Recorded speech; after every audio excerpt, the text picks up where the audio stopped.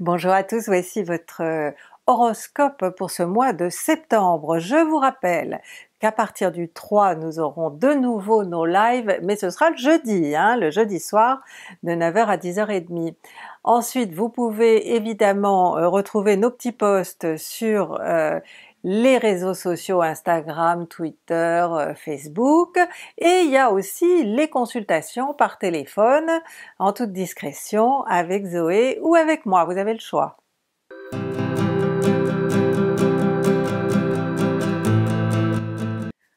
Taureau et ascendant Taureau, dans votre horoscope de ce mois de septembre, de cette rentrée, euh, nous avons bien évidemment le soleil en Vierge comme tous les ans, et euh, je vous l'ai déjà dit peut-être la Vierge est le secteur du travail, du quotidien, de tout ce que vous avez à faire dans votre journée, que vous travaillez ou non, hein, puisque euh, bon, même si vous travaillez pas, vous avez forcément des activités. Donc voilà, le, le soleil va éclairer euh, ce secteur d'activité et euh, d'activité dont vous serez content. Hein. Euh, je veux dire, c'est votre secteur 5, hein. ça vous plaira, il y aura du plaisir à, faire ce que vous avez à faire, même si c'est un petit peu répétitif, si vous trouvez que c'est pas très créatif, c'est pas grave, vous aurez le plaisir de reprendre finalement une certaine routine. Et on sait que le Taureau, il s'épanouit un petit peu dans la routine, hein, et la preuve en est que votre secteur de bien-être et d'épanouissement, donc le secteur 5, c'est la Vierge, hein, donc euh, euh, vous vous épanouissez aussi dans le travail, hein, euh, quand vous arrivez à vous y mettre, parce que vous êtes lent à vous mettre en, en marche côté boulot. Ensuite après le 22, le soleil sera en balance et, c'est votre secteur du travail, donc là encore puisque la Balance est gérée par Vénus, planète des plaisirs, eh bien il y aura peut-être du plaisir à, travailler parce que vous aurez eu des bons résultats, vous aurez été content de vous, on vous aura fait des compliments et donc vous, vous, avancerez sur cette lancée euh, pendant la période Balance. Alors simplement c'est aussi un secteur de forme, n'oubliez pas de faire les examens de routine ou de rendre visite à votre toubib préféré.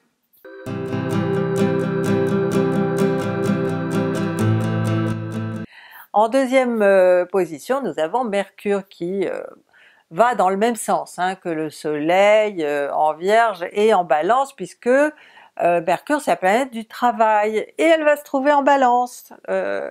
donc on, finalement, c'est hein, ça se répète, ça se répète que le travail est au premier plan, que vous avez du plaisir dans votre activité habituelle, qu'il s'agisse d'un travail ou d'autre chose, euh, de jardinage ou je ne sais pas quoi, en tout cas il y a du plaisir et euh, euh, disons que ça vous met en forme, hein. le, fait d'avoir du plaisir est toujours le meilleur des médicaments, hein. dites-vous bien ça.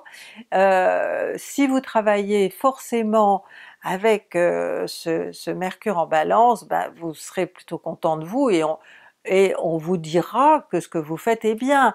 Mais attention à ne pas être un poil trop euh, perfectionniste euh, ou à ne pas vous montrer trop exigeant si jamais vous avez euh, des personnes qui travaillent pour vous. il y aura un petit peu d'exigence hein, dans votre dans toute cette configuration qui mélange la Vierge et la Balance. Euh, pour vous c'est un, signe qu'il faut pas que vous fassiez les choses de travers, qu'il faut pas qu'on puisse vous critiquer. Hein. Là il y, a, un problème, s'il doit y en avoir un, il y a un problème avec le, sens critique euh, qui est le vôtre et la susceptibilité qui est la vôtre aussi par rapport aux critiques qu'on pourrait vous faire. Mais vous, vous ne vous gênerez pas hein, pour être critique avec euh, ceux avec qui euh, vous travaillez, euh, vous ne l'enverrez pas dire, hein, comme on dit.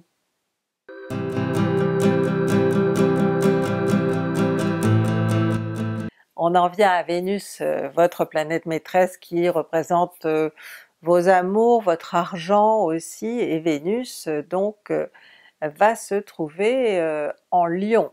Alors elle est un petit peu en retard hein, puisqu'elle est restée en Gémeaux pendant plusieurs mois, euh, elle est dans le signe qui précède la Vierge, le Lion, et elle y est très bien, hein, on va dire, euh, c'est vraiment... Euh, toutes les planètes d'ailleurs qui passent par le Lion sont rayonnantes, hein, donc une Vénus rayonnante dans ce secteur Lion qui représente la maison, la famille, et tous les gens qui occupent euh, votre maison, hein, euh, donc euh, vos familiers comme on dit.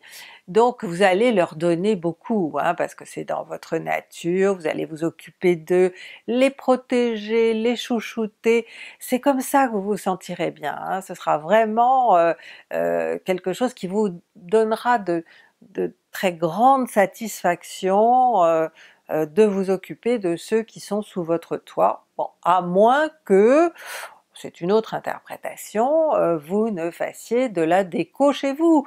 Vous rentrez de vacances peut-être et vous vous dites tiens euh, pourquoi est-ce que je changerais pas euh, ces meubles de place, pourquoi est-ce que j'irais pas m'acheter un, nouveau vase pour mes fleurs, hein? je dis n'importe quoi mais ça peut être ça aussi. Et troisième interprétation possible, avec Vénus en Lion dans votre secteur 4, il n'est pas exclu que vous revoyiez quelqu'un de votre passé. Ça peut être un ex euh, avec qui vous avez eu une histoire, mais ça peut être aussi euh, des amis que vous n'aviez pas vus depuis longtemps, que vous croisez dans la rue, bref, à un moment ou un autre, le passé va vous sauter à la figure, et ce sera pas désagréable du tout.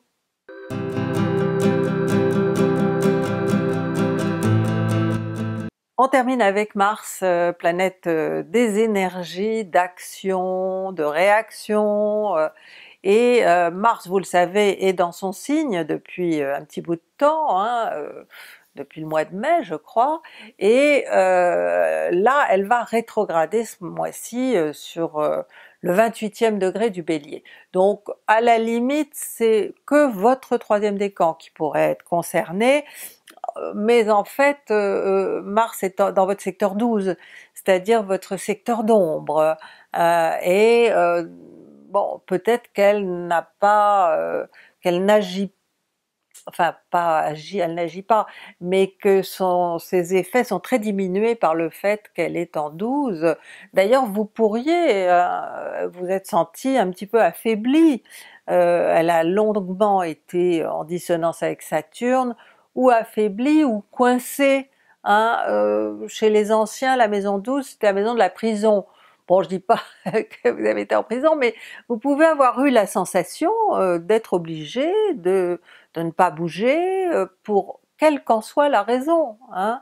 Donc Mars va rétrograder hein, ce mois-ci, donc ça sera certainement beaucoup moins fort, beaucoup moins évident, et peut-être même qu'il y a des choses qui vont se relâcher, hein, euh, des, obligations que vous aviez ou euh, euh, bon des, freins qui vous gênaient, peut-être que ça va se relâcher, pas complètement, hein, mais un petit peu, et que vous allez vous sentir moins contraint par ce Mars en 12, euh, bon, qui va rester rétrograde un bon moment avant de repartir en marche directe et euh, de quitter euh, le Bélier en, janvier de l'année prochaine. Je vous dis à très bientôt sur YouTube. D'ici à ce qu'on se retrouve, si vous voulez plus d'horoscopes, vous appelez le 3210, vous allez sur le site RTL Astro ou sur celui du Figaro TV Magazine.